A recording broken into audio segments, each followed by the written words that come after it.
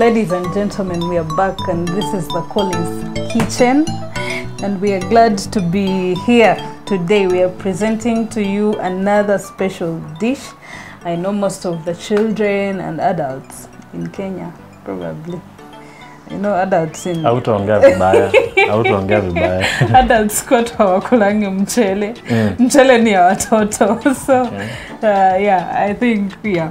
Even where i come from uh, ukipika mchele usiku Yeah. and then people have that for a meal and you ask them what did you have for supper we just slept on tulilala tu na mchele So you can prepare vegetable rice with anything. You can prepare it either with green peas or my favorite French beans. Mm. Yes. can so. you also put cauliflower No, no, no, no, no. Yeah. you said anything so i thought maybe cauliflower brenda Okay. No.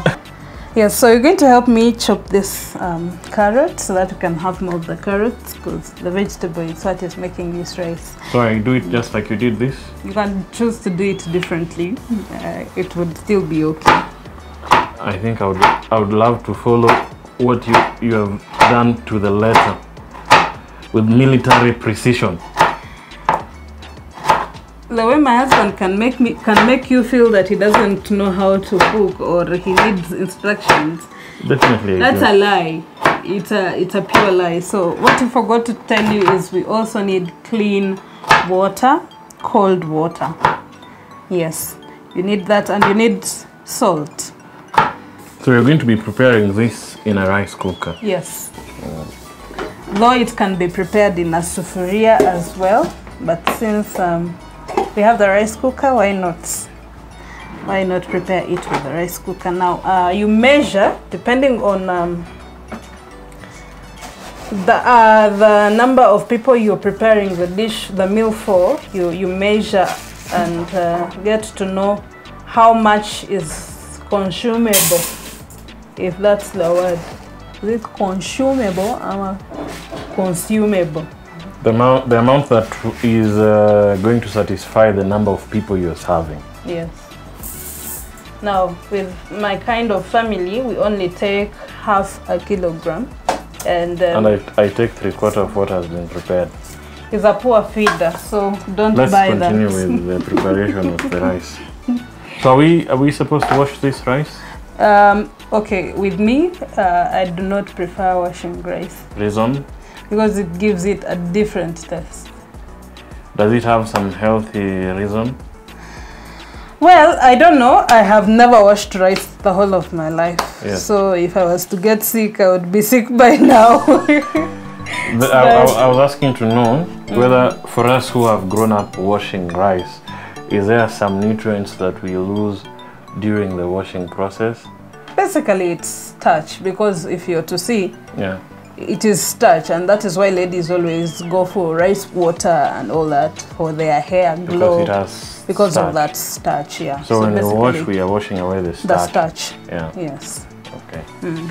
So we've been washing away our starch because And I think some wash because when they don't wash, it gets sticky. Mm. Like the because of that starch effect, mm. it gets sticky, and the rice is not like each grain on its own. So they prefer washing it so that it's not sticky. But I think it also depends on the type of rice. You need to pick the type of rice that uh, suits your taste. Yes. You, if you want the one that after cooking comes out as each single grain appearing very nicely, take that. There are people who want they cook a quarter sufuria and then they get a full sufuria of rice. That is Could also also good. take that. Yeah, so um, you use enough vegetables because this is vegetable rice. So use enough vegetables. So is it so is it also okay to use um, capsicum?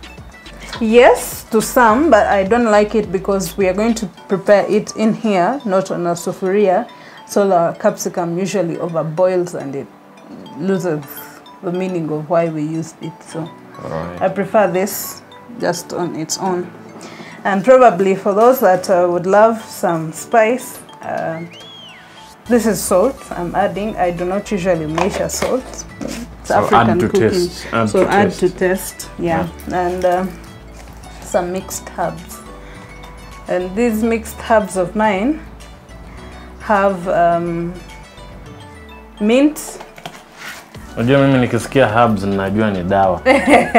they have mint, oregano, rosemary, sage, marjoram, and parsley leaves. So those that are fans of mixed herbs Out of all those, I only know of mint and parsley. and rosemary. And- You said also parsley yes. and parsley.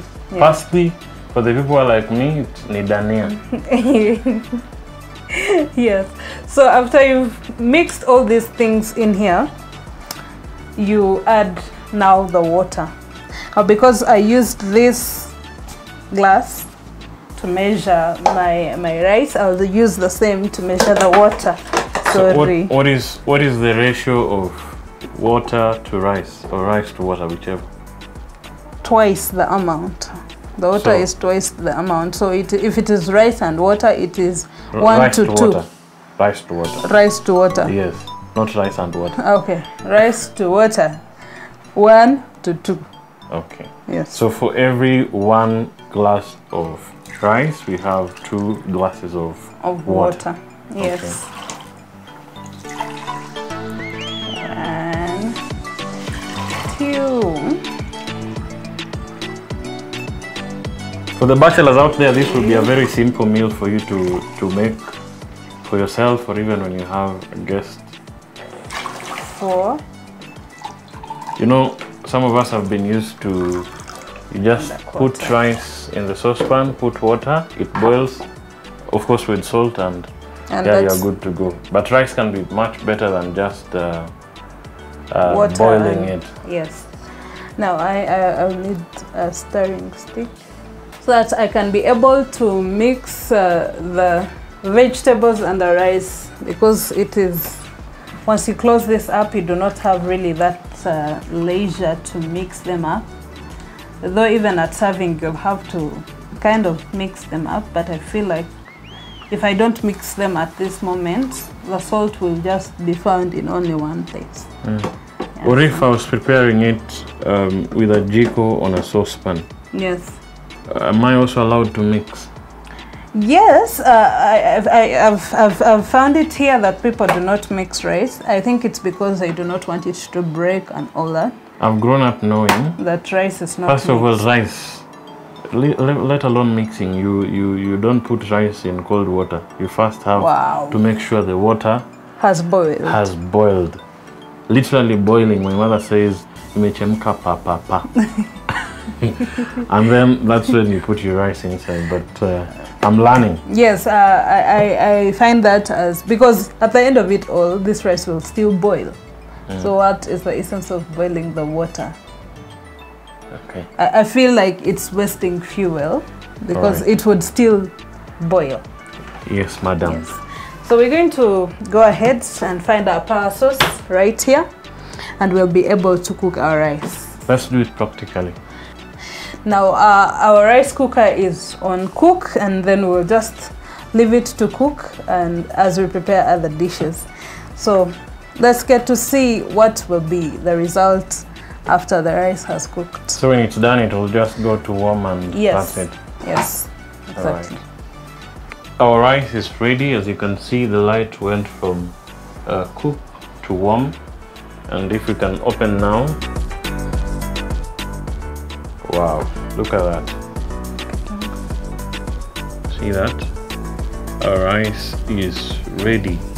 And the good thing with putting the, the, the, the vegetables like the carrots and what, what have you, and also the cowpeas or green paper, green Green pea. green peas is it it brings about some some different type of appearance to the to the rice so that it's not just white Plain. you know?